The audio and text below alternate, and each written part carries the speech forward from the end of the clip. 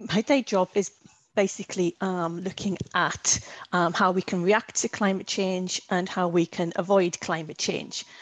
And you know, we're very aware we provide critical national infrastructure that's um, most most in demand at the same time when it's most at risk of failure.